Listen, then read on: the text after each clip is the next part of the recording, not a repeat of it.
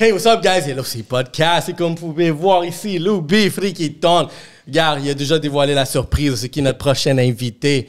Mais vous savez déjà, guys, grâce à vous, les abonnés, pour commencer ce show-là, euh, je vous encourage fortement. YouTube, ici, on est en train de bâtir des collectifs. À cause du channel, d'autres personnes sont en train d'évoluer. Donc, grâce à vous, tous nos abonnés, on va continuer qu'est-ce que vous faire show Love. Et comme vous savez, aujourd'hui, pour terminer notre mois d'artistes janvier, j'ai dédié aux artistes. Je veux vraiment un peu d'art. Naturellement, on a des discussions genre de, business, entrepreneuriat. Ça, là, je me dis, amène-moi des artistes. Monde avec des. Parce que les artistes, c'est un autre genre de hustle. Là. Quand vous avez des produits, votre image de marque doit se vendre, puis comment vous le faites. C'est ça qu'on va découvrir aujourd'hui, d'une façon collective. DJ, Guys, Latino Gang, épisode spécial. Yes, sir. Regarde, je pense que j'ai fait mon intro là, comme je vous dis, on va pas se le cacher, c'est qui c'est Frikiton, le collectif. Euh, je vais vous laisser tout le monde euh, vous présenter, Diego, Nana, mais un par un, allez-y. Yes. What's ben, up? Bienvenue au Yellow Seat. Merci, de nous avoir, honnêtement. Ça fait quand même un, un bail qu'on regarde ton podcast, puis on trouve ça tellement intéressant, le contenu que tu fais, puis tout. Puis d'être ici aujourd'hui, je pense que c'est tellement pertinent. C'est un vibe, c'est un honneur aussi d'être ici. Fait que merci pour l'invitation. Euh, si vous ne nous connaissez pas, on est Freaky Tongue, collectif latino montréalais. Euh, mon nom, c'est Loubi. Moi, je suis un des cofondateurs également, le A&R, un chasseur de tête, comme you want to call it. Après ça, on a... Euh, moi, c'est Diego, euh, connu aussi comme Santo Fuego, DJ également depuis une couple d'années. Je suis ori- originaire du Venezuela, puis moi, je m'occupe plus du côté business development de Frikiton. Donc, tout ce qui est développement de projets pour Frikiton, que ce soit des événements ou des activités culturelles. C'est moi qui est derrière avec Sébastien qui n'est pas là avec nous aujourd'hui. C'est un peu sur moi, donc euh, vas-y, Nana. Et euh, moi, c'est Nana Zen. Je suis la fondatrice de Frikiton euh, et présidente. Donc, euh, je overview euh, toutes les activités, euh, tout, tout ce que les gars font. Euh, je, je overview aussi bon, ben, la vision en tant que telle euh, de Frikiton dans un futur. Euh, et c'est ça. Excellent. Tu vois, team. Ça, c'est le Dream Team. Puis qui vous voyez pas aussi derrière, on a Tech Table, Black Box, on a DJ Cam. Bientôt, on va avoir une caméra sur lui parce que je sais qu'il aime ça participer. Donc, un autre DJ qui représente Freaky Tone, guys. Ça, c'est le team. Euh, c'est une belle collaboration. J'aime ça. On va l'appeler ça, genre le, le Freaky Tone Black Box. Tu sais, tu vois, juste Yes. encore plus haut que Yellow Sea. Ça, c'est vraiment l'introduction, tu sais, vraiment, je pense. Mais il n'y en a pas vraiment. C'est genre la première activité que vous faites euh, tu sais, avec nous, je pense indirectement, on est live, on a spot. Puis c'est ça l'énergie qu'on recherche, les plus de collaboration. Euh, pour commencer, quelque chose de nice euh, pour tous ceux vraiment qui cherchent à se trouver. On est dans un air où est-ce que tu peux être créatif, tu peux faire n'importe quoi, tu peux créer quelque chose. Puis là, tu le fais en collaboration. J'aime ce nouveau vibe-là aussi de voir des DJ, maintenant c'est les stars, là, puis vous avez un collectif, justement, chacun met sa personnalité dans, sais, dans les events. Fait que c'est nice d'entendre. Puis le collectif, pour commencer, tu sais, de où ça vient? C'est-tu une idée que vous avez vue déjà qui était trendy ou c'est juste quelque chose qui avait du sens par rapport à vous? Euh, Nana, toi, tu veux répondre à ça? Euh, ben, je, je, je veux dire, euh, ça a commencé. Honnêtement, c'est pas comme un collectif au début. Euh, tu sais, moi, un jour, j'ai eu une idée. J'étais comme, il manque de reggaeton. Moi, j'aimerais ça aller dans un reggaeton underground party, genre des yayas. J'aimerais ça comme, tu sais, comme dans nos pays d'origine, aller dans un event. Mais tu sais, il n'y avait pas ça. Fait que là, j'étais comme, Loubi, yo, on fait quelque chose. On s'arrange, on, on, on part quelque chose. Fait que là, tu sais, après ça, on a eu Diego qui, qui s'est embarqué dans le team, Cam, Seb, puis là, tu sais, avec le temps, on a créé Frikiton, mais tu sais, ça a fait vraiment un, un effet boule de neige. Au début, tu sais, on était comment on va faire un party, mais maintenant, c'est beaucoup plus qu'un party. Mhm, 100%. Puis même que je trouve qu'au début, quand ça avait commencé, Freaky Tongue, tu sais, euh, comme Nana a dit, il y avait comme un manque dans les événements de reggaeton parce que, il y en a qui se sont fait produire depuis des années, des événements latinos, des événements de reggaeton puis tout, mais il manquait quelque chose, que ce soit de l'organisation ou même des fois à niveau sécuritaire aussi. C'est vraiment ça qu'on est allé chercher avec Freaky Tongue, de vraiment faire des événements que le monde allait se sentir safe, allait se sentir dans un vibe qui sont jamais été, mais aussi se sentir inclus, puis qu'à la fin de la journée, tout le monde allait s'amuser. Puis on était là justement pour s'amuser and have a good time, puis pas devoir comme stresser s'il y avait quelque chose qui allait arriver ou quelque chose du genre, tu vois. Non, c'est bon. Mais tu sais, tu tu rajouter, je te voyais? Oui, ben c'est ça. ben, dans le fond, Montréal, c'est une ville très multiculturelle. Donc, euh, on voulait aussi que Flikiton s'adapte, justement, que, que ça, genre une représentation parfaite, pas juste de la culture latine, mais du multicultural- multiculturalisme euh, montréalais. Donc, euh, oui, offrir l'expérience des événements latins à tout le monde, mais pas juste réservé aux latinos. Donc, vraiment s'ouvrir à tout le monde, des personnes de religions différentes, orientations sexuelles différentes, pays différents. Donc, quand on vient à un événement Frikiton, c'est, tu vois des Latinos, tu vois euh, des Haïtiens, tu vois des personnes arabes, tu vois un peu de tout. Euh, et tout le monde est là pour la même raison, pour danser, pour avoir du fun et pour respecter euh, l'un l'autre. Euh, donc, comme disait Louis, la sécurité, c'est quelque chose qui est prédominant, qui est essentiel dans nos événements. Quelque chose qui, justement, les, événements latinos sont fait reconnaître dans le passé de ne pas avoir être euh, très sécuritaire, très euh, conscient de la sécurité des, femmes euh, aussi, plus précisément. Donc, c'est pour ça qu'on a des partenariats qui sont développés avec le temps, comme avec GRIP, justement, c'est un OSBL de prévention qui, qui focus dans la sécurité autant mentale et sociale des, des invités. Donc, c'est vraiment ça, c'est le fait de, vendre une expérience sécuritaire, le fun à notre communauté. Euh, tout ça avec El, El Sazon Latino de Friquito. Bien dit, bien dit. Ben, justement, moi, c'est quelque chose que, tu sais, ça, c'est un de mes discours aussi, c'est que, comme latino, en ce moment, c'est notre- je sens qu'on est dans, c'est notre notre moment actuellement. Quelque chose à dire, tu sais, quelque chose assez rassembleur. C'est quelque chose aussi que je partage dans le sens que euh, n'importe qui peut venir à un party latino. Tu sais, une fois que tu rentres là, là genre, comme Fuego Fuego, genre l'année dernière, c'est c'est la première fois que j'allais, c'est le deuxième aussi, là. Mais, euh, tu sais, si tu étais là, tu comme par défaut, si t'es pas latino, si tu étais là, par défaut, tu devenais latino. Puis ça, c'était le vibe que je vois aussi, vraiment derrière ces, ces mouvements-là qui se passent, le vibe qu'on donne. Puis on est dans une bonne trajectoire, tu sais, à yo, se mettre dans une bonne position. Puis encore là, les bonnes collaborations euh, amènent les bonnes choses. Ben oui, 100 Si je peux rajouter à ton point, juste si on regarde Montréal dans les dernières années, avant, on avait le, le festival del merengue. C'était quelque chose qui était là, ça s'est disparu. Après ça, c'est devenu le festival euh, du monde. Chaque pays avait leur, leur euh, journée. Mais il y avait quand même un manque, là. Avant, tout le monde avait hâte, là. Festival del merengue, festival del merengue. Mais live, genre, je pense que Fuego Fuego a ramené justement ça, de ce qui se manque. C'est ça. Ça, c'est vrai. Moi, j'avais une fierté. J'étais comme, oh, wow, c'est tellement beau. 25 000 Fucking nice. latinos qui chill. Ben oui, puis aussi le fait que c'était fait de façon organisée aussi, parce que pas te mentir, genre justement, tu sais, Nana, tu mentionnais comme des festivals de genre de merengue puis tout, puis je trouvais que, tu sais, éventuellement, quand il y a eu le Dominican Day puis toutes ces affaires-là, il me manquait un peu d'une organisation puis tout, comme même moi, à un moment donné, je m'étais fait appeler à, genre, aller mixer dans le truc salvadorien, puis finalement, je suis arrivé là-bas, puis j'étais même pas sur le line-up comme pour de vrai. Ah ouais, type of deal, ouais, ça. Exact. Fait que de voir des trucs bien organisés puis tout, ça, ça fait juste nous encourager à, à do our craft at the end of the Là, day. vous êtes, que- vous êtes quelle génération? Vous avez quel âge en moyenne? Juste. euh, Euh, genre fin vingtaine, moi j'ai 26. OK, c'est bon. OK, tout dans la même. 26, ouais. Ouais, exactement, Timoun, parce que dans mon temps, ça, c'est genre 10 ans même avant.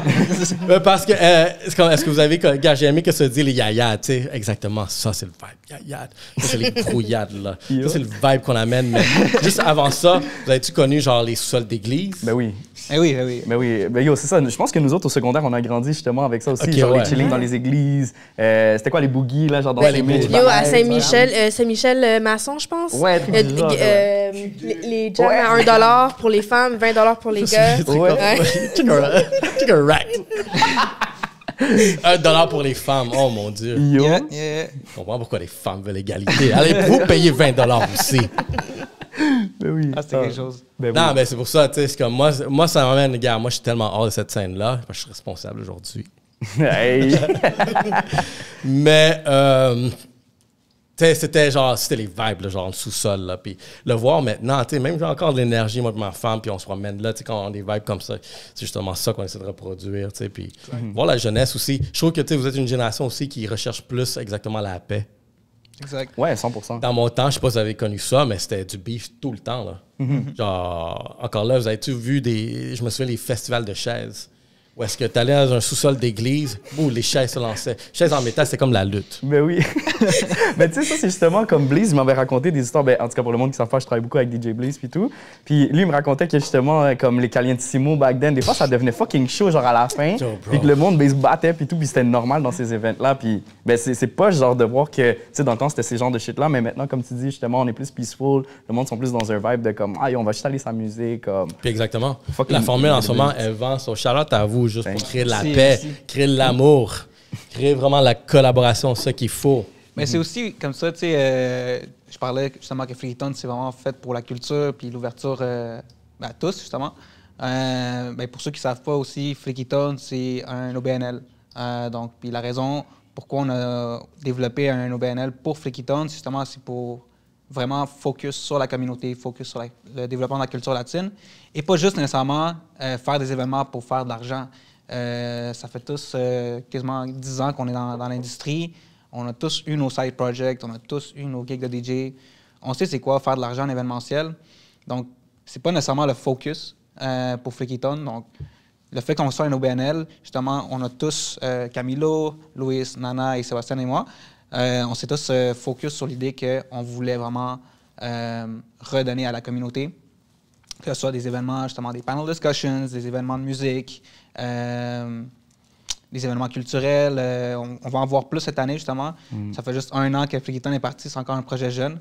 Euh, mais justement, le fait qu'on soit un OBNL et non une boîte de production événementielle, ça, ça vient justement focus la mission euh, de Freakyton, qui est vraiment de uplift la communauté latine et ses valeurs. Si je peux rajouter Ouais, à ce vas-y, que vas-y, tu rajoute. dis, euh, tu sais, je pense que tout ce qu'on vient de dire avant, c'est un, pré un, précé- un précédeur. Ouais. Je vais l'avoir. Mais ah, justement, ben, Freaky Tongue, dans le sens que on a connu ça, on était comme, you know what, on peut faire les choses différemment. On peut, on peut faire des events latinos qui, tu sais, qu'il n'y a pas de, de fête, qu'il n'y a pas de violence, qui sont safe, que tu sais, tu sais que tu peux aller danser tranquille, qu'il n'y a personne qui va te toucher, que, tu sais, que tu te sens safe, justement. Puis je pense qu'on on a grandi en, en voyant des parties comme ça, un peu unsafe, puis on, on s'est dit, tu sais quoi, nous, on va faire better. 100%. What's up, guys? Prenons une pause parce qu'à force de parler avec des invités de feu, ça donne faim. Puis nous, les munchies, on les bloque avec la pizza. Puis comme vous savez déjà, Pizza Salvatore, c'est la pizza de Yellow Seat. On est tous d'accord. C'est vraiment, tu sais, vraiment, tu écoutes un podcast, tu veux t'amuser, tu vas être relax, tu veux prendre un verre, mais tu veux manger vraiment une bonne pizza, quelque chose de bon. Pizza ou euh, une poutine chez Salvatore, it's on point. Puis je vais vous partager quelque chose de moi très personnel. J'adore la pepperoni. J'aime pas ça mélanger des trucs. D'autres personnes adorent. Mais c'est pour ça que les autres ont fait un spécial que c'est 4 pizzas de 7 pouces que vous pouvez faire comme vous voulez qui commence à 22,99. C'est le fun parce que, gars, je peux avoir ma pizza de, euh, au pepperoni, je peux avoir fromage, je peux avoir la mexicaine, je peux avoir une québécoise, comme vous voulez, avec le monde que vous êtes autour. Choisissez ce que vous voulez, mais regardez, tout le monde a sa pizza, sa saveur. Ça, c'est le fun à partir de 22,99 si vous commandez en ligne. Ensuite de ça, quelque chose que sont très reconnus, c'est la poutine. La poutine, elle est en point. Puis, encore là, je vous dis, commandez en ligne 25% de rabais. Puis ça, c'est quelque chose qui va même venir combler ce désir-là. Pendant que vous écoutez Yellow Seed, que vous soyez vraiment à la maison, il joue dans le fond. Donc, c'est quelque chose qui va vraiment venir euh, combler ce que vous avez besoin. Donc, guys, quand vous commandez Salvatore, vous êtes juste en train d'encourager Yellow Seed, puis vous encouragez Yellow Seed, donc juste en train de faire plus de content qui va vous donner plus de valeur, comme vous avez vu le dernier invité qu'on vient d'avoir. C'est fou, guys. Donc, Pizza Salvatore, commandez en ligne dès maintenant. Et c'est comme ça que ça se passe chez Yellow Seed Podcast. Pizza, pepperoni, ma saveur préférée. C'est quoi la vôtre? Let's go. Selon vous, ça a été de quoi juste pour connaître un peu genre l'ascension, tu que c'est drôle, tu sais, vraiment, je trouve que ces dernières années ont juste donné, ouvert des portes à vraiment euh, justement des groupes à, à pénétrer autant comme nous qu'on est rentré dans ce game-là. Puis, tu sais, à- avec la constance, ça a développé quelque chose. Tu sais, de votre part, jusqu'à présent, ça a été quoi, genre, le meilleur, on dirait, accomplissement que vous avez eu, vous avez connu? Ouf. Euh, Où est-ce que Yo, c'est comme c- nice? Ça, c'est une bonne question. Ben, I mean, honnêtement, pour moi, je dois dire que c'était justement le fait que quand on a enregistré vraiment le, le- le collectif en tant qu'au BNL, pour moi, c'était vraiment comme un, gros truc parce que c'était comme, OK, c'est vraiment du, du sérieux. Parce qu'à la base, je me rappelle quand on avait fait notre premier event, genre vraiment gros organisé au House Gang puis tout, comme on était encore en mode, OK, ben, tu sais, genre, on met tant d'argent de tout le monde, puis après ça, à la fin, ben, on ressort avec un, un petit peu de money, whatever, comme on fait juste essayer de vivre une expérience, puis comme, tu sais, essayer de, de, de, de cut vraiment, genre, comme, genre assez d'argent pour, pour pouvoir comme produire l'event puis que ça soit nice, tu vois. Mais après ça, éventuellement, quand on est vraiment devenu une OBNL, puis quand on voyait qu'il y avait du monde qui était vraiment dans de travailler avec nous autres puis qui voyait l'impact culturel qu'on faisait, je pense que ça, ça a vraiment été le, le moment pour moi pour dire comme genre, OK, this is actually serious, tu vois. Comme ça, c'est un gros truc, type of deal. Fait que moi, je pense que c'est ça mon moment. Te souviens-tu la date? Ah ouais, c'était marquant, là. Le 2 septembre? Ouais, moi, je me rappelle même Bon, elle l'a eu. Shout out Nanas. Tu vois, les quiz, tu vois, on Ben voit oui. les quiz. Connaissez-vous vos dates? exact. C'est vrai. Toi, Diego, c'était quoi? Euh, pour moi, euh, mis à part le- la sermentation de, de l'OBNL, euh, je dirais, en termes d'événements, d'expérience, c'est l'événement qu'on a collaboré avec Red Bull pour faire une espèce de block party gratuit qui était au centre-ville, à côté de Sainte-Catherine. Ouais, Dorchester Square. Ouais. Pour moi, ça, cet événement-là, ça a été mon préféré jusqu'à date. J'ai tellement aimé la. C'était, vraiment ça. C'était, tu voyais en, en, en grand et en large la diversité latine à Montréal, autant touristique, autant euh, comme nationale. Il y avait plein de pays différents. Tu voyais les gens. euh, moi, je mixais, puis je voyais les gens avec des maillots du Mexique, des maillots de la Colombie, des maillots euh, du Salvador. Hum, tu voyais des drapeaux aussi. Des drapeaux un peu partout. Ouais. Nice. Euh, des gens qui amenaient des instruments aussi. Ouais. Donc, c'était vraiment comme le meilleur feeling. Genre, c'est, c'est le, c'est le moment où je me suis senti le plus chez moi. Euh, moi, je suis vénézuélien. Ça fait 20 ans que je suis pas retourné à mon pays. Puis c'est le moment où je me suis vraiment senti chez moi pour la première fois en 20 ans. Donc, c'était vraiment euh, comme un moment émotionnel pour moi. Puis je le cherish forever. C'est pas nice. I, I Ouais. feel, I feel. Je peux sentir un sentiment là comme ça, ça va être dope. Yo. Toi, t'en as-tu un? Ben, un, ou peut-être un feeling général. Moi, je pense que quand. Tu sais, parce que, comme je vous dis, tout- tous, on a au moins 10 ans dans l'événementiel, puis, tu sais, on a, on a eu nos projets ici et là, chacun individuellement. Puis, je pense que pour moi, où c'est devenu vraiment spécial, c'est quand, tu sais, on a ramené tous nos, euh, nos contacts, puis que, tu sais, on nous a pris au sérieux. Puis, était comme, you know what, tu sais, toi, toi, toi, tu sais, ça a l'air sérieux votre, euh, votre euh, projet, puis on est dans de vous avoir dans notre festival. Genre, oui, toi, individuellement, t'as mixé, ou euh, un tel a mixé, mais c'est quoi votre, votre projet parle, puis on a envie de vous avoir, puis de voir ce que vous pouvez ramener. Puis moi, pour moi, ça, c'était magique. C'est comme, waouh, c'est- ça nous ouvre tellement de portes, puis même si c'est juste un festival ou deux festivals, pour moi, c'est c'est comme dreams come true. Genre, c'est c'est- c'est- c'est un rêve en- qui devient réalité. Sur moi, côté résilience, il faut vraiment être résilient euh, dans n'importe quel projet qu'on qu'on entreprend. Je pense que c'est vraiment une question de timing. Le fait qu'on soit arrivé, euh, les cinq fondateurs, puis que tous ces projets-là, que ce soit Art Commune, que ce soit Red Bull, euh, Picnic électronique, c'est c'est grâce à toute cette énergie-là qu'on a mis pendant les dix dernières années que tout, s'est- tout est arrivé comme, comme tu as dit, un peu par magie. Là. C'est- Ça s'est fait tellement rapidement et ça continue à le faire. Yo, puis de façon tellement organique aussi. Ouais, c'est ça. Les gens, ils- Comme, parce que justement, une, une autre affaire que comme je pensais live, c'est le moment quand on a signé, qu'on a vraiment dit genre on va faire ça une OBNL. Je pense que comme la discussion a duré deux minutes parce qu'on était juste comme ok quel genre de business on fait puis tout le monde en a fait une OBNL. Ok c'est bon, passons à la prochaine étape, tu vois. C'est qui qui a, qui a eu l'idée de l'OBNS? Ça, je suis curieux de. Je veux entendre cette histoire-là parce que je trouve ça assez intuitif comme euh, décision d'aller cette direction-là. Comme, euh, parce qu'il y a d'autres question. il y a d'autres structures aussi euh, que. Attends, c'est quoi celle-là de Desjardins? C'est euh, Coopérative. coopératif. Coopérative, ouais. Si je peux Mais tu sais, au BNL, parce que euh, au BNL, je trouve ça intéressant, puis je veux avoir votre take dessus. Euh, parce que je trouve que, tu sais, même moi, j'essaie de, de placer, admettons, le podcast à un moment donné comme une OBNL. Mais là, il y avait plutôt plein de choses qui étaient arrivées que, oh, oh, oh, j'étais pas éduqué. Fait que je, savais- je veux savoir votre take derrière ça.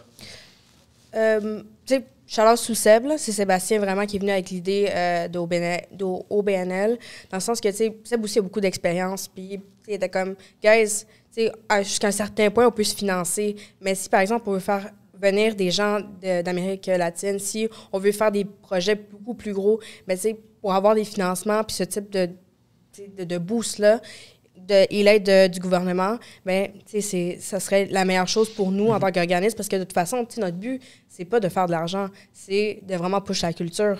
Fait qu'à ce moment-là, ça, ça rejoint nos valeurs d'une part et d'une autre, puis ça nous permet de grandir dans la communauté. C'est fort. C'est C'est fort. vraiment une technicalité. Là. Tu sais, C'est Non, c'est comme c'est sure. quoi notre mission, puis qu'est-ce que, quel modèle fit plus le, on dirait la structure euh, de la business. Puis c'était vraiment un OBNL. Ça, ça, en est, ça en est vraiment revenu à ça. Mm-hmm.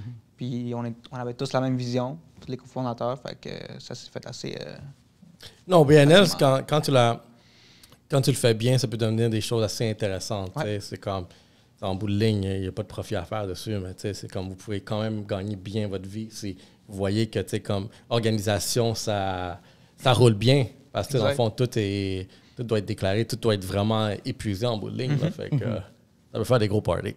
ouais, non, exactement. 100%. Puis, puis c'est ça la, la mission à la fin de la journée, c'est vraiment d'offrir ces expériences-là au monde, faire vivre au monde genre des moments qui vont être comme oh my god, comme tu te rappelles quand j'étais allé au Flickitong puis tout. Puis on veut avoir cet impact culturel-là à la fin de la journée. Fait que guess que tu sais, c'était juste comme normal pour nous de, de le faire de cette façon-là. là. Actuellement, tu sais, l'équipe, comment là vous êtes cinq, prévoyez-vous euh, agrandir le collectif? Parce que c'est une organisation où est-ce que tu sais, le plus de membres que vous avez euh, à l'interne, ben, le plus tu sais, vraiment d'un certain pouvoir. Sais, comme je reviens à la OBNL, qu'est-ce que j'ai trouvé ça in- assez intéressant comme structure quand je me suis éduqué dessus, c'est que c'est monté comme un gouvernement. Il va y avoir un président, tu avoir ton secrétaire, ton trésorier, chacun a son poste. Puis à partir de là, tu sais, c'est une gouvernance. Qui, qui fait quoi? C'est, fait que, tu sais, éventuellement, je peux imaginer, c'est qui le. le, le- La leader, c'est. euh, ouais, c'est toi qui serait genre la, Ouais. la grise. Exact. Mais euh, genre, comme pour répondre à ta question, en fait, c'est ça. Oui, on est comme les cinq fondateurs, mais on a déjà quand même expand l'équipe euh, beaucoup, surtout au niveau de l'équipe de contenu, mettons. Euh, tu sais, on travaille beaucoup main en main avec le monde de Nucléo, par exemple. Euh, puis après ça, éventuellement, mais comme on a rajouté d'autres mondes, comme par exemple, on a Emily aussi qui nous aide avec des trucs comme un peu plus de création de justement contenu, puis, puis visuel, puis tout. Puis, hein? Ouais, exactement. On a beaucoup de bénévoles puis tout. Mais oui, tu sais, c'est sûr que comme l'administration, on est comme cinq euh, à ce moment-là. Euh, côté expansion, je sais pas. Peut-être toi, tu voudrais répondre à ça, Zen? Pour l'instant, comme vu que c'est un projet qui est jeune je- et aussi vu que c'est nouveau pour, pour nous tous, genre, il faut, faut être sûr de, de bien renforcer nos, nos liens, puis de bien partir quelque chose, d'avoir nos fondations de fait pour pouvoir ajouter plus de gens. Parce que, c'est comme. C'est- C'est venu officiel en septembre, mais avant ça, tu sais, on était un peu plus comme bon, OK, tu fais ça, tu fais ça, mais c'est c'est vraiment à partir de septembre qu'on a dit OK, bon, on va prendre nos rôles respectifs, tu vas t'occuper de telle chose, on va s'occuper. Fait que, tu sais, ça fait pas un an, là, même pas, là, depuis septembre. Fait que Ouais, ça fait 5-6 mois. Ça, Cinq, six ouais, mois. exact. ça évite pas que, euh, on- tu sais, on- oui, il y a une structure dans, nos- dans nos Mhm. BNL, mais vu qu'on est, c'est un projet jeune, on est une équipe jeune aussi, on porte quand même plusieurs chapeaux en Ouais. dedans euh, du projet euh, Fligiton. Euh, justement, avec le contenu, euh, euh, il y a aussi euh, justement euh, ben, Nucléo, il y a Max. Euh, pour ce qui est de la danse, il y a Émilie, justement. Mais Émilie aussi, elle nous aide à créer du contenu en tant que tel. Euh, donc, euh, pour ce qui est de l'équipe, oui, elle a agrandi à travers, euh, à travers l'année. Là, on est une dizaine, je dirais. Euh, mais on travaille vraiment avec des gens qui, s- qui, qui font confiance au projet, qui s'identifient au projet, puis que c'est pas juste une question de maintenant, mais c'est aussi une question de futur. Donc, euh, ils sont pas juste là pour nous aider pour un événement, ils sont là pour pousser euh, justement la culture latine à travers Mhm. Flickiton. Puis euh, nous, de là, justement, Flickiton, c'est une plateforme qui leur permet de, de prendre leur force, Ouais. puis de les propulser. Euh, quelque chose que je voudrais savoir dans ce sujet-là. avec quel programme faites-vous affaire qui, qui vous permet vraiment de peut-être aller chercher des, des- des projets, de grossir? Euh, parce que je sais que l'accessibilité. Là, avec que vous avez une structure euh, morale derrière ça, ben, vous avez accès à des subventions, des trucs comme ça. Y a-t-il des programmes que vous avez essayés jusqu'à date, que vous avez reçus? Y euh, Pour être honnête avec toi, c'est quelque chose qu'on travaille présentement. Trouver justement des, des, des- grant writers, c'est pas, pas une mission facile. Il y a plusieurs justement, organisations du gouvernement qui, s'occupent de faire ça, que ce soit le Conseil des arts euh, canadiens, euh, Factor. Euh, mais pour nous, en tant que tel, on- on- c'est un projet qui est, qui est en cours. Puis euh, ça va se refléter justement dans, dans- dans les futurs événements, les futurs projets qu'on va mettre euh, de l'avant avec Flickiton. Donc, euh, Je pourrais, euh, ça, ouais. je pourrais peut-être suggérer, il y en a un, c'est PME MTL. Ouais. Euh, l'avez- L'avez-vous essayé, Ouais. celle-là? Ça, je, je trouvais comme sont intéressants comme groupe parce qu'on dirait que c'est vraiment social la mission aussi. Là. À Essayer de donner vraiment de, de l'appui dans des organisations comme ça. Puis c'est là que j'en ai appris beaucoup à cause de, de une certaine façon. C'est une OBNL, eux autres aussi? Il me semble? ouais. OK, c'est ça. Fait que c'est à peu près ça. Quand tu trouves une mission sociale derrière ton OBNL, tu as accès vraiment à aller chercher peut-être euh, des, certaines richesses, Ben oui. certains programmes. Euh, puis c'est pour ça que tu sais, comme ça dit, ça dit non lucratif, mais ça peut devenir très lucratif. Encore là, plus la structure grossit, plus vous avez un team derrière ça, ben, Exact. ça peut. euh, c'est ça que ça devient plus. euh, c'est intéressant. Exactement. Ouais. Donc, 2023, c'est quoi? Genre, là, vous avez parlé des, euh, des, d'un des accomplissements. Mais à part ça, si où est-ce que y a-tu eu un malheur quelque part? Y a-tu quelque chose qui t'est allé vraiment mal? Euh, c'est une, c'est une bonne question. Ouais, hein, quand j'y pense, honnêtement, je Mhm. pense pas, non? Flawless victory. Ouais, not Ben, gonna lie, hon- ouais. Honnêtement, on travaille avec des gens vraiment professionnels, des gens qui se pointent à l'heure, qui ont envie d'être là. Fait que je peux pas penser à un moment, tu sais, qui a été une catastrophe, que le projet a pas marché, que genre ça servait à rien d'investir du temps là-dedans. Genre, comme je, je- aucun. Ouais, non, c'est ça. Honnêtement, quand j'y pense, comme tout le monde, on a à chaque événement, tu sais, c'est sûr qu'on on était là, on faisait tout ce qu'on avait à faire puis tout.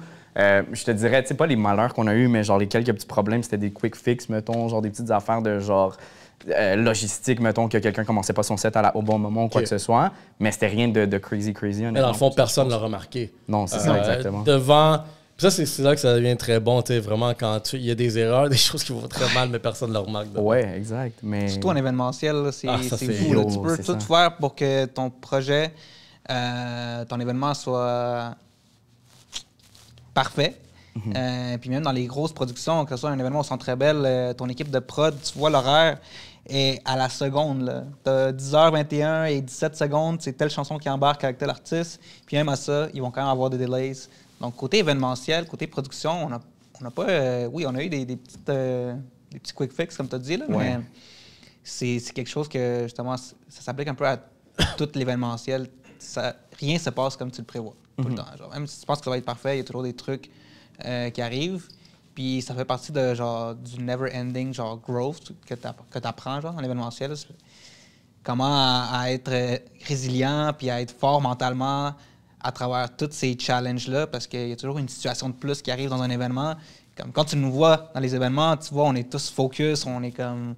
Oui, on enjoy, mais tu vois qu'on est concentré parce qu'on sait qu'on a une grosse responsabilité, Euh, que ce soit avec les artistes, que ce soit avec les invités, euh, les sponsors, quoi que ce soit. Donc, euh, c'est ça. ça. ça ressemble mal à ça, là, côté responsabilité. Sais, puis maintenant, tu sais, que vous avez chacun votre rôle. là. Mhm. Je voudrais savoir à peu près les rôles. C'est qui qui fait quoi vraiment? C'est qui qui gère les problèmes? C'est qui qui. Y a-tu quelqu'un qui va des fois qui donne plus des ordres à quelqu'un d'autre? Sa fondatrice, Ben. Griselda. C'est sûr que, mettons, genre, tu sais, euh, Diego puis, puis, puis Seb, vu qu'eux autres sont quand même en train d'oversee beaucoup d'affaires, puis ils gèrent beaucoup des contrats, euh, des nouveaux projets, puis toutes ces affaires-là, c'est sûr qu'eux autres, niveau négociation, c'est eux autres qui vont vraiment, comme, gérer les trucs, puis après ça, une fois que, comme, OK, on reçoit les projets, après ça, ils vont déléguer, comme, OK, on a besoin de ça, ça, ça, ça, ça, type of thing. Fait que je te dirais que c'est vraiment eux autres qui font tous les trucs. Là, après ça, euh, sais, comme niveau organisationnel, c'est pas mal ça, je te dirais, des puis- business, Ouais. Ouais, ben, c'est. c'est- close. Tu sais, c'est surtout, euh, comment je pourrais dire ça, ça va avec les forces de chacun. Mhm. Euh, tu sais, côté artiste, Loubi, c'est la référence. Euh, c'est pour ça qu'il oversee tout ce qui est A&R. Euh, mais pour Sébastien et moi, nous, ça fait vraiment longtemps qu'on qu'on est comme dans l'entertainment, qu'on fait beaucoup de bookings, qu'on fait beaucoup de... De gestion d'événements aussi. gestion d'événements, brand partnerships. Donc, euh, c'est plus naturel, justement, que ça, ça soit nous qui le fasse. Mais, euh, comme on le dit tout le temps, on le rappelle souvent dans les meetings, on est là pour, pour tous euh, apprendre puis grandir. Fait Mhm. On aime ça, partager ce knowledge-là. Euh, c'est le plus important. Il y a des gens qui sont plus nouveaux, comme dans, dans l'événementiel en tant que tel, comme Camilo. Euh, avant d'arriver avec Freaton, il avait, il s'était jamais vraiment comme fully genre intégré dans un projet événementiel, mais il a quand même amené ses forces au niveau du PR, des médias. Euh, puis nous, on est là aussi pour partager. Euh, comme lui, il partage ses, ses connaissances. Euh, donc, c'est venu assez genre naturellement. Mhm. qui, qui Toi, prend le comme- lead. Comme gars de business dans tout ça, c'est Mhm. quoi ton meilleur ta carrière? En tout, qu'est-ce que tu as fait de business en entertainment, événement? Là? Mon meilleur coup, Je vois ton meilleur hustle. Là.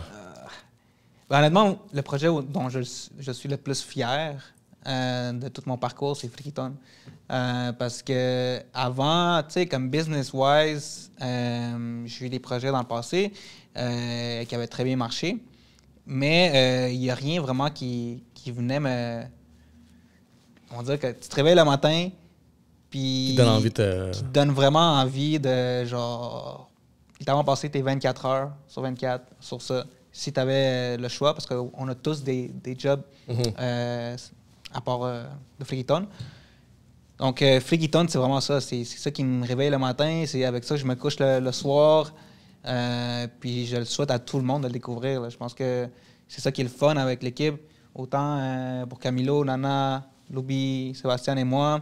Euh, c'est pour ça qu'on a parti ce projet-là. C'est ça qui, Mhm. nous, qui, nous, qui nous fuel, qui nous drive complètement. Puis en plus de ça, ça rejoint nos valeurs. Fait que, pour voir vraiment où est-ce qu'on s'en va dans l'avenir, là, euh, comment vous voyez 2024? Là? En ce moment, vous êtes déjà actifs, guys. Ouais, ouais, les Vous projets. donnez aucune chance à personne de se reposer d'un week-end à un autre. là. les gars sont là partout, là. And girls? Yes, ben oui, 100 Ben, I mean, c'est comme ça que, que je trouve qu'on qu'on doit être, qu'on doit faire les trucs. C'est vraiment genre en mode, euh, tu sais, faut pas arrêter. Puis à chaque jour, justement, tu sais, à chaque semaine, c'est genre, OK, il y a de nouveaux projets qui rentrent.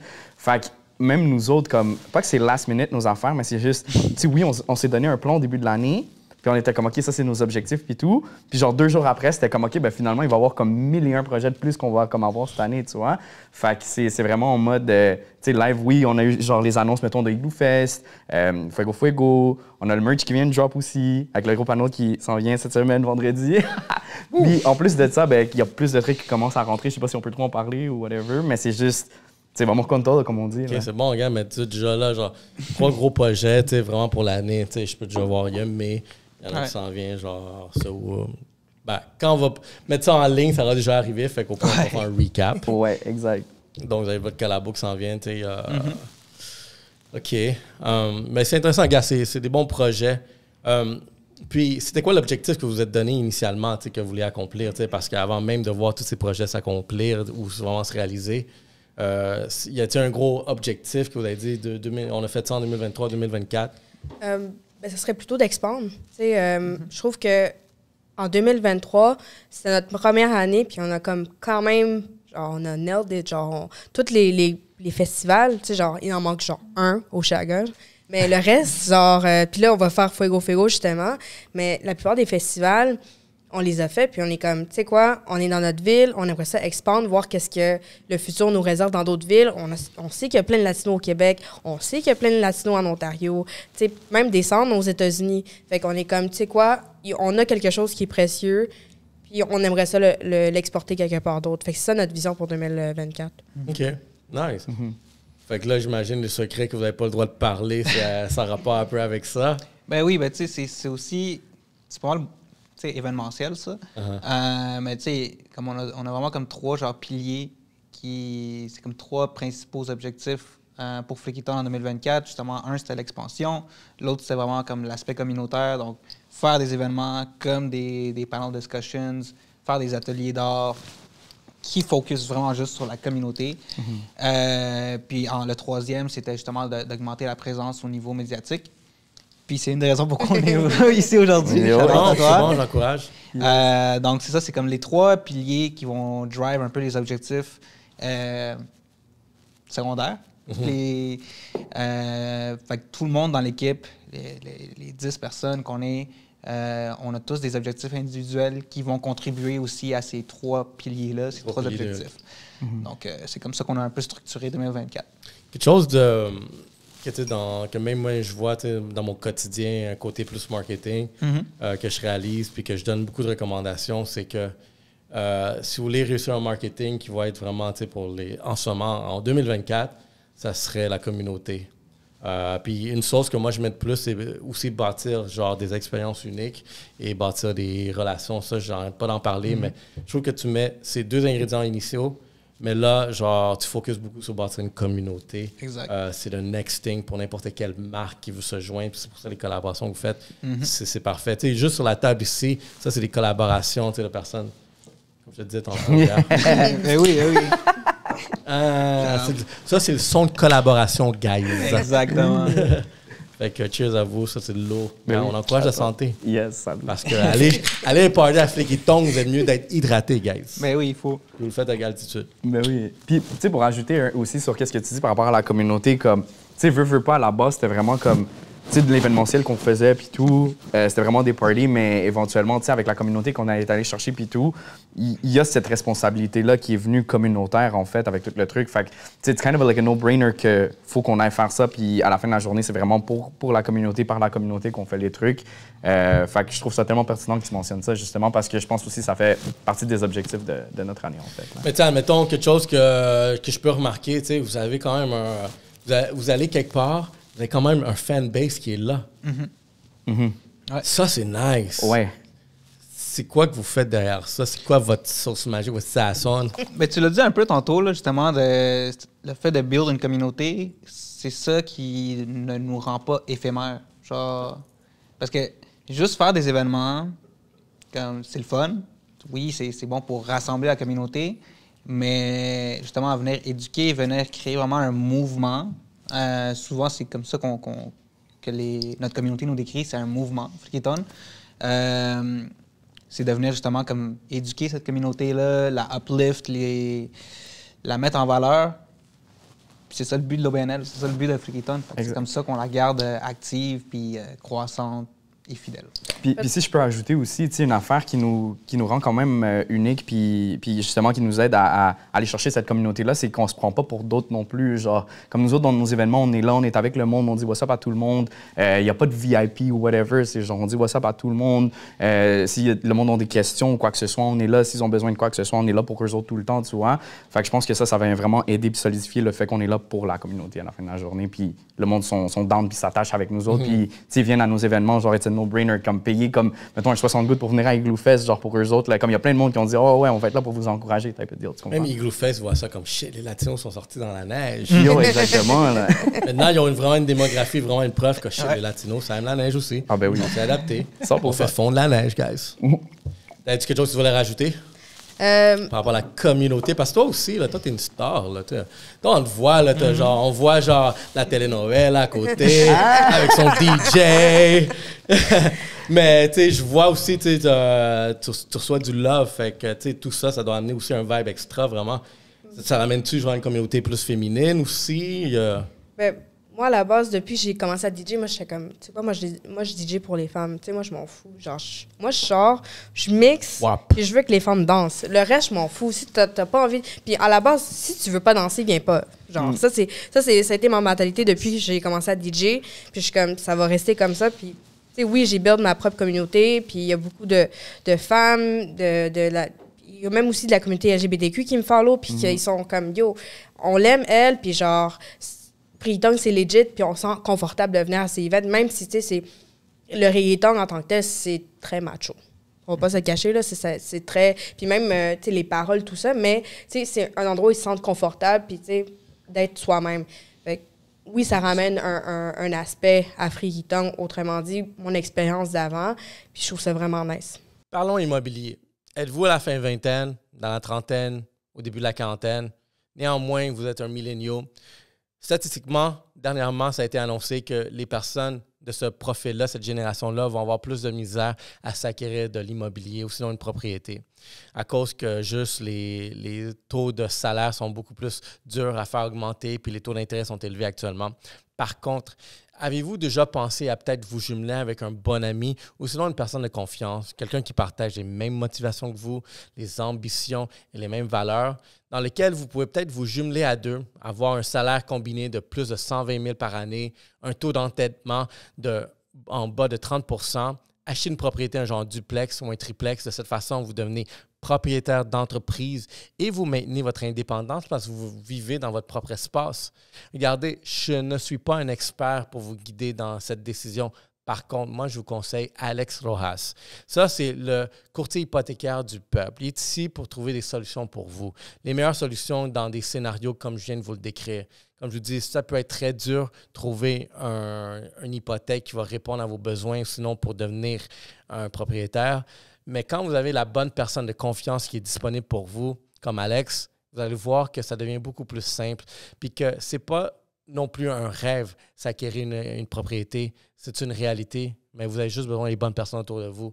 Donc, moi, je vous conseille fortement Alex Rojas, juste parce que moi, été témoin d'un bon courtier qui est venu m'aider quand j'en avais besoin.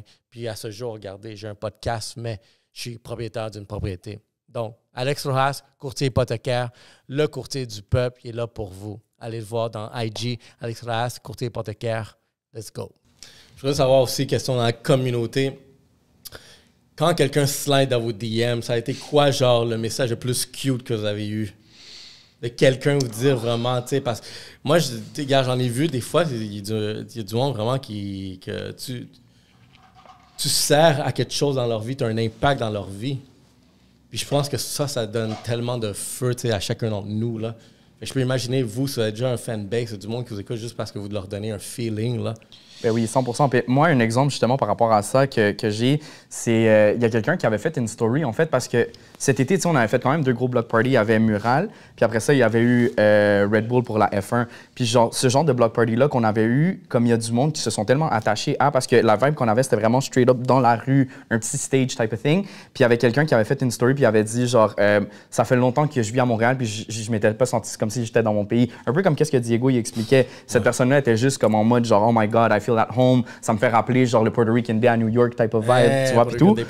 Exact. Puis de voir ces genres de trucs-là, je suis comme, OK, c'est vraiment pour ça qu'on le fait, tu vois. C'est ce genre d'expérience-là qu'on veut offrir au monde. Puis, puis euh, ouais, non, ce commentaire-là, dès que je l'ai vu, puis cette personne-là, à chaque fois que, tu sais, il y a quelque chose qui arrive ou whatever, moi, j'y envoie toujours un message, puis je suis comme, oh yo, il y a tel event, tu vas-tu venir, comme on tenait sur la guest list ou whatever, parce que justement, je suis comme, you gave us love, I'm gonna give you love back, you know? Le shout out aux fans. Il y a Ben du oui. monde là, qui sont hardcore là, puis qui. Ça te donne du love aussi, tu sais, même pour nous, là, comme créateurs, là, comme. Mhm. Euh, est-ce qu'on fait quelque chose? On dirait que t'es allé dans les DM. loin. Ouais, non, mais justement, moi, justement, c'est ce qui est Ce qui est dit, genre, de comme. ouais, ben, euh, premièrement, vas-y. shout out à, à, à Cynthia, Cynthia Valiente. Euh, Oh shit, Cynthia, let's Ouais. go. Donc, euh, elle, euh, justement, je pense que quand j'ai vu son DM, je pense que j'ai commencé à pleurer. Yo, low-key, man. For real, genre, c'était que. C'est tellement venu nous chercher. Puis, tu sais, elle avait dit quelque chose comme. euh, que, que- elle elle regardait Calle Ocho, euh, le festival, genre, à Miami, puis euh, le Puerto Rican, genre, Day à New York, genre, sur, sur Univision. Puis, elle, rêvait toujours d'avoir comme un- quelque chose qui, qui représente de la même façon, genre, Montréal, euh, dans la communauté latine. Donc, euh, ouais, c'est- ça, c'est un message qu'elle a posté avec une vidéo de l'événement à Red Bull, justement, que je te disais. Donc, euh, shout out à toi, Cynthia. Euh, yes. Si je peux rajouter quelque chose, euh, en fait, moi, moi c'est la. où ça m'a touché vraiment, c'est quand on est allé à Drummondville, honnêtement. Parce qu'à Drummondville, c'était. Yeah. Quand, quand on est allé à Drummondville, c'était la première fois qu'on faisait quelque chose, je pense, à l'extérieur de Montréal. Ouais. Puis que, tu sais, il y avait, y avait, y avait vraiment du monde de partout. Tu sais, c'était comme, tu sais, on sait pas c'est quoi Freaky Town, mais on vient, puis c'est dans un parc, fait que tout le monde pouvait venir. Puis Il y avait beaucoup de latinos qui étaient comme, c'est quand que vous revenez? C'est la première fois qu'on vient dans quelque chose de latino à Drummondville. C'est quoi qui se passe? Venez plus souvent, genre. Puis ça, j'étais comme, wow. Puis en plus, il y a une Ouais, huge ouais. communauté latine à Drummondville. Ouais, ouais, c'était. Trois-Rivières. Ouais. Trois-Rivières, il y a Trois-Rivières une communauté latine. Je suis allé là, j'ai de la famille qui, sont qui ont déménagé là. Je vais dans un winner, j'entends parler espagnol, mais pas juste un. Genre, un peu partout. Je Ah ouais? pas contre Miami. Yo. Ouais. Oui. Ouais. Ben, c'est ça, c'était vraiment le fun, euh, justement, à Drummondville. J'aime- ça, que tu avais amené le point parce que Drummondville, c'est le genre de bookings qu'on a eu en 2023 parce qu'on est allé justement chercher une autre démographie. Euh, oui, le latino il, il est encore présent à Drummondville, qu'on le croit ou pas. Euh, on a aussi eu la chance de partager euh, l'après-midi avec une business latine, une épicerie mexicaine. Marché Drummondville. Marché MX. MX, ouais. Marché MX, ouais. À Drummondville. Donc, shout out à, à eux également. Euh, puis c'était vraiment le fun de voir quand tu vois la communauté québécoise locale qui allait magasiner euh, au marché, qui allait acheter leurs produits euh, comme typiques mexicains. Euh, donc, on est allé faire un tournage avec eux. Et euh, aussi, juste au niveau de l'événement, c'était vraiment le fun de voir des familles. tu sais, Yo, des c'est ça, c'était très des- familial. Il y avait une résidence de personnes âgées à côté. Il y avait des, des petits vieux qui étaient là, puis ils dansaient. C'était vraiment le fun. Donc, tu sais, quand je te disais initialement que Freaky Town, c'est vraiment là pour partager la culture latine qu'on a, les meilleurs points de la culture latine, c'est c'est fait pour ça. Si je peux rajouter à ce que tu as dit, honnêtement, il y a beaucoup de natifs québécois qui adorent ça aller dans le sud. Mm, fait que là, ça quand, quand ils voient des events comme ça, ils sont comme « Oh mon Dieu, je, genre, je me sens à Punta Cana, je me sens à Cancun. c'est quoi ça? » Genre, puis on l'a fait justement devant une maison de, c'est- c'est- Ah ouais. de, de retraités. Puis ils étaient tous là. Genre, Yeah. j'étais comme « Yes, let's go! » Genre, ça, ça C'est donne. nice que tu dis ça. Moi, je vais encourager ça. Justement, les autres artistes, genre ici, là, moi, j'aurais dit, guys, il faut s'en aller à une tournée québécoise. Mm. Puis je sais, j'ai ce sentiment, gars, quelque chose que de, du vibe latino, là, juste une question que je vois à tout le monde. Quelle musique ils mettent dans les magasins pour que tu consommes? Là, du reggaeton, genre. Ben oui. Pourquoi? Parce que c'est ça que ça fait consommer. Ils vont comprendre, gars. Puis, gars, justement, puis je vois, genre, une 100%. tournée, genre, au Québec, je juste ça, on amène, genre, tous les artistes ici avec le collectif. Yo, bro. Comme, moi, c'est un des pitchs que j'utilise. Je suis comme, yo, en ce moment, là, tu veux vendre ton produit, là, Yeah. mets-le saveur latine, là, puis tu vas voir que ça va vendre. Ben oui, 100 Comme, puis justement, comme c'est, un marketing point que plein de monde utilise. Comme, tu sais, par exemple, il y a un DJ que je follow beaucoup qui s'appelle Hugh Gall. Le gars, c'est un Français, il fait du Latin House, puis lui, son truc, c'est I do it for the Latinos, not the money. Tu vois, genre, ce genre de vibe là. Tu sais, c'est drôle parce qu'il y a un YouTuber que je suis, son nom c'est euh, Timmy Carter. C'est un grec. Puis ce dude-là, dans le fond, lui, son but, c'est un YouTuber qui va juste dans tous les pays euh, d'Amérique latine. Puis son argument, quand il, il parle espagnol bien quand même, là. son argument, c'est Me gusta le reggaeton. C'est juste ça.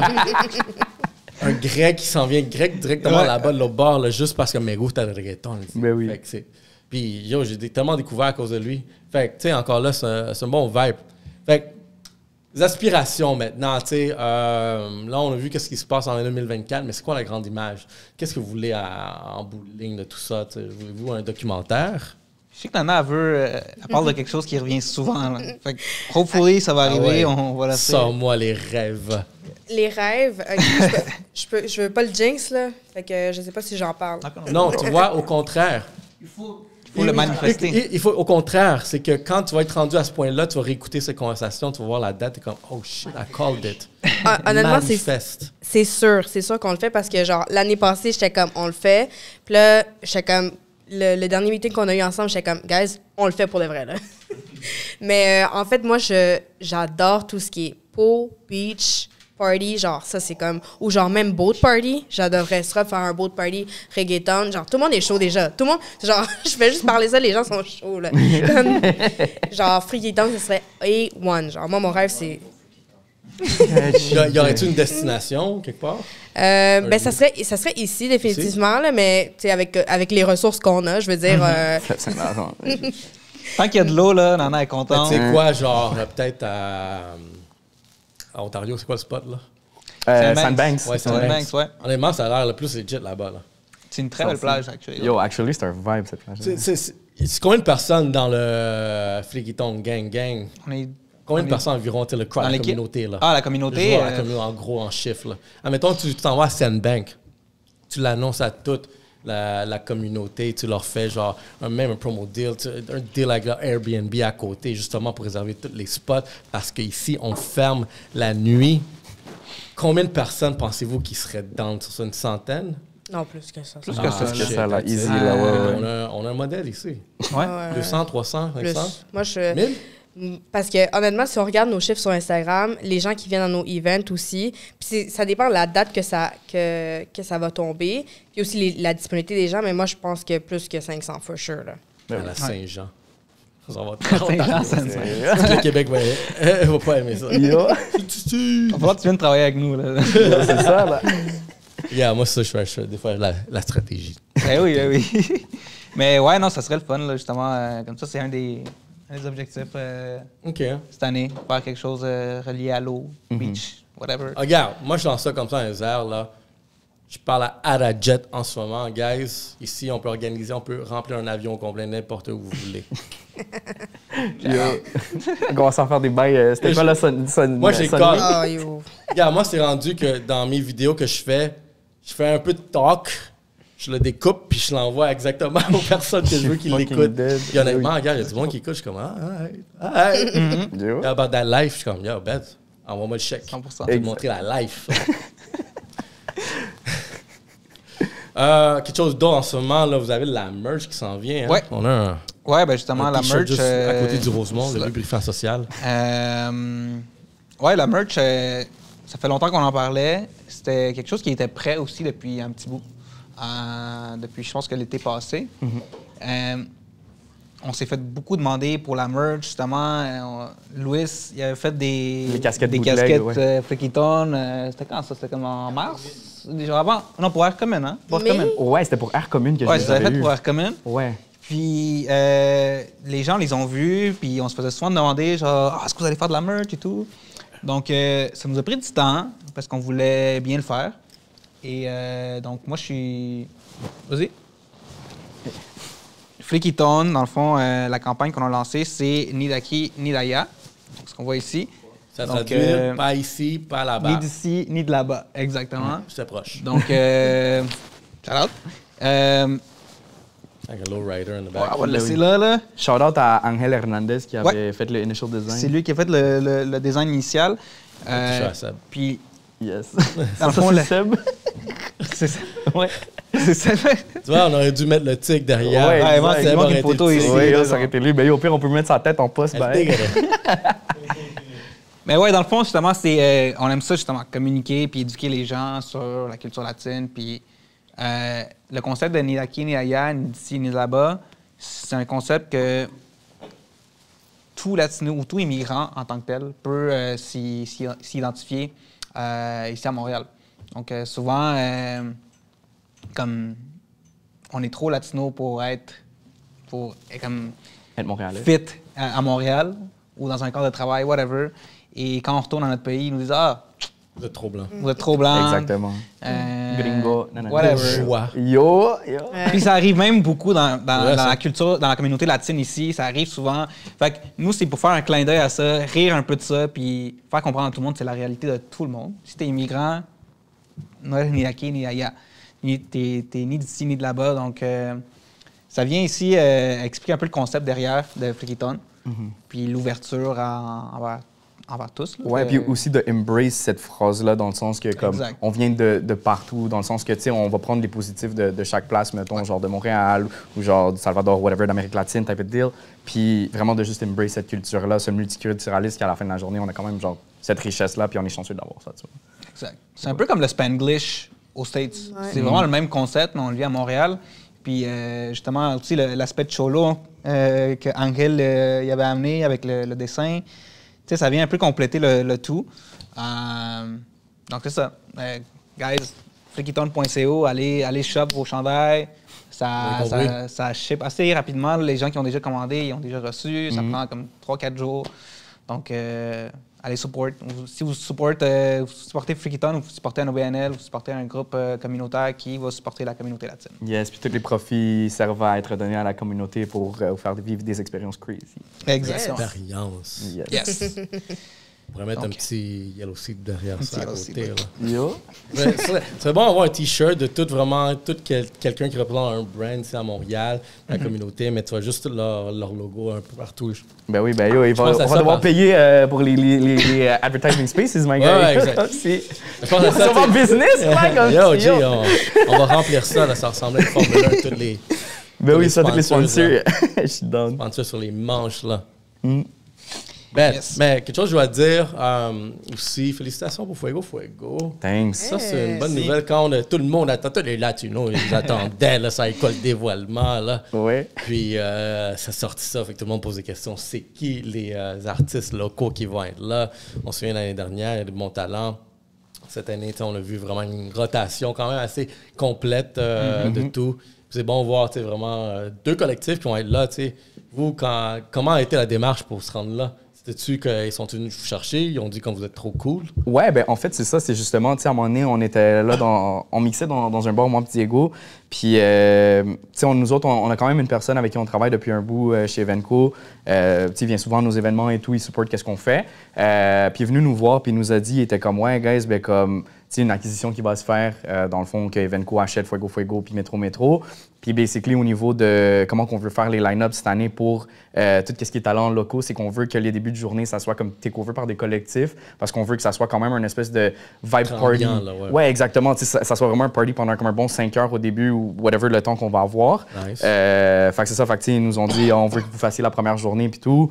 Euh, puis tu sais, il va y avoir d'autres affaires en conjonction puis tout. Puis moi, je trouve que c'est tellement une belle initiative de justement comme voir de un qu'il y a tellement de collectifs à Montréal, puis il y a plein de monde qui sont en train d'essayer de faire des trucs euh, vraiment communautaires puis tout, puis qu'on s'est fait inclure là-dedans. Je pense que c'était vraiment quand même un vibe là, pour nous de, de recevoir cette C'est invitation. très Montréal. C'est Ouais. très Montréal. Puis c'est ça qui est le fun de voir euh, comme des festivals comme Fuego Fuego, comme Mural aussi, qui focus beaucoup sur des collectifs ou des programmations pour curate euh, la musique. Donc, je trouve que ça fait très Montréal. Donc, on est vraiment content de, de- de faire partie de la, de la programmation de Fuego Fuego. Puis nous, ça nous permet justement d'offrir un- un- une nouvelle expérience de show aux, aux- aux festivaliers, euh, qui va être encore une surprise. Mais euh, c'est vraiment le fun. euh, C'est bon pour un. C'est un bon euh, check dans le bucket list à faire.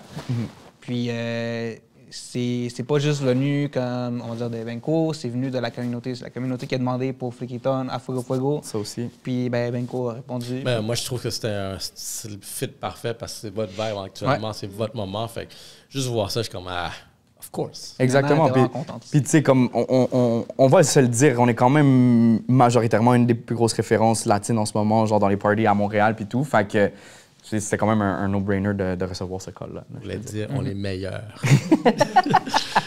C'est pas, moi qui l'a dit, c'est moi qui l'a dit. Exactement.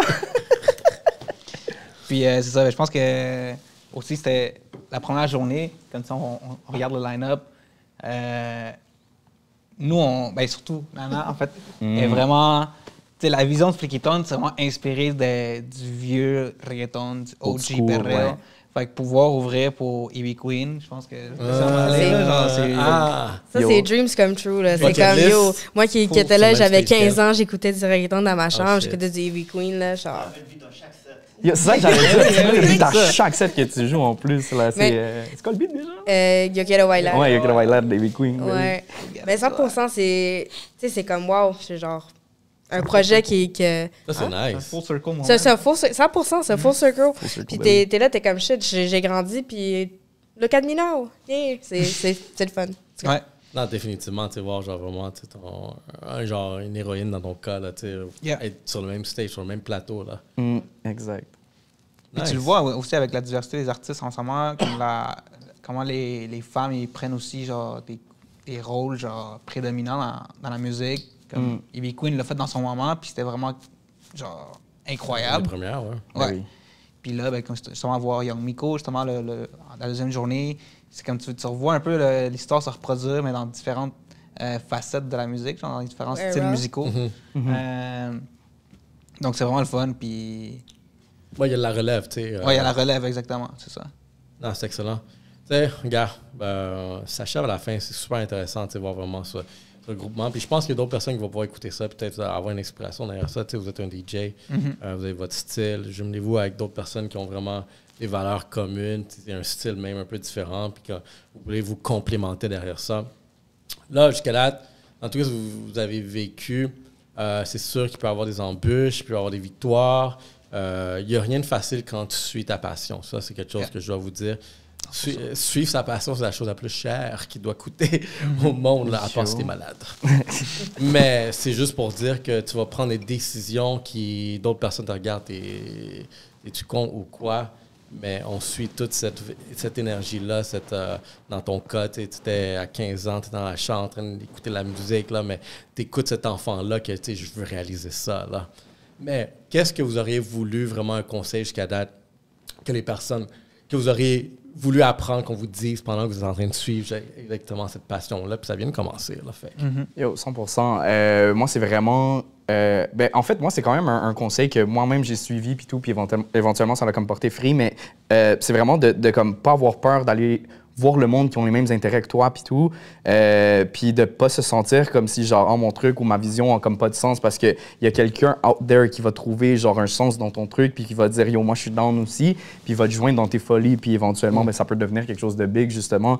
Euh, puis aussi de, de, de tu sais, pas avoir peur de suivre tes roots également, parce que je trouve que ça, c'est une affaire que, moi, mettons, pendant longtemps, j'étais pas trop dans les événements latinos, whatever, mettons, les trucs un peu plus house. Puis là, éventuellement, quand je suis revenu dans mes trucs latinos, tu sais, j'écoutais tout le temps du beat latino, mais faire des événements latinos éventuellement, mais comme ça a juste fait en sorte que j'étais comme, OK, I feel with my people, I feel good, puis you shouldn't be afraid to, to, to feel good with your people, I guess. C'est intéressant, c'est une bonne valeur, ça.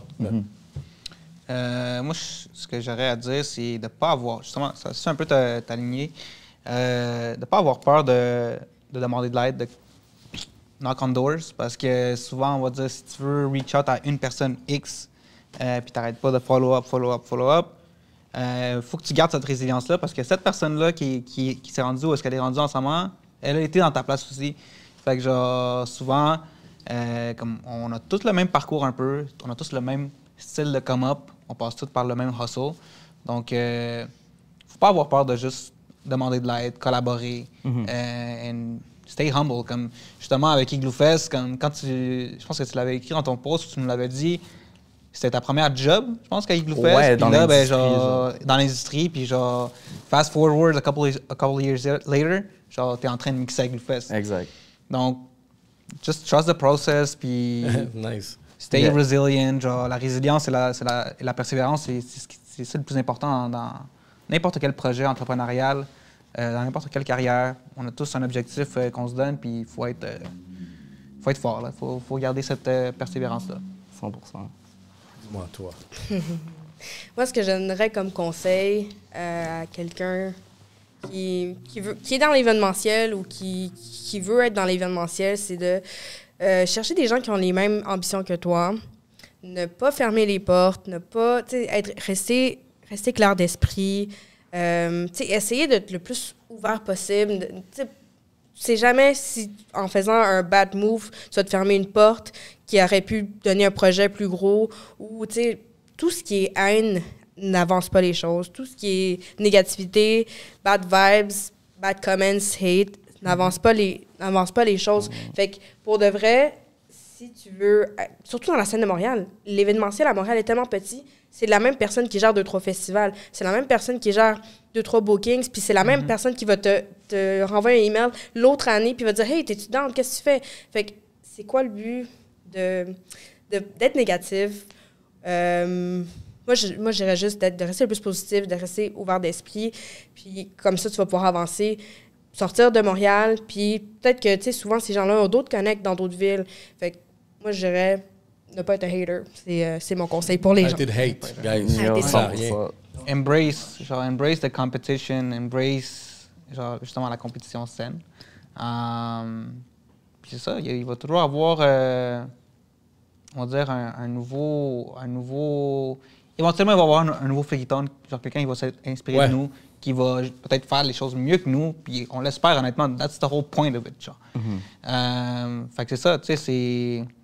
Tu sais, stay humble, puis... Stay humble, guys. Exact. Stay humble, stop hating, puis écoutez-vous. Exactement. Aussi simple que ça. Et buy our merch. Non.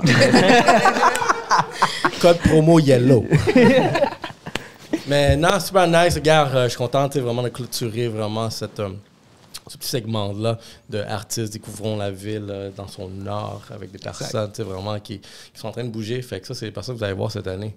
Puis ça commence dès maintenant. Dès que vous allez voir cette vidéo-là, c'est Igloo Fest. Fait que mettez vos manteaux. Température est chill. En ce moment, je vais. Fait que c'est ça que je pourrais dire. Fait que en gros, pour résumer, tu sais, j'ai bien aimé vraiment le, le- le côté de l'OBNL, sais, vraiment le, le business thinking derrière ça, que vraiment, on est une, orga- une organisation qui peut travailler collectivement, puis de là, tu sais, vraiment, il y a beaucoup de fruits à ça. Fait que renseignez-vous sur les OBNL, euh, comme je ne l'ai pas fait moi, mais eux, ils vont pouvoir vous en expliquer.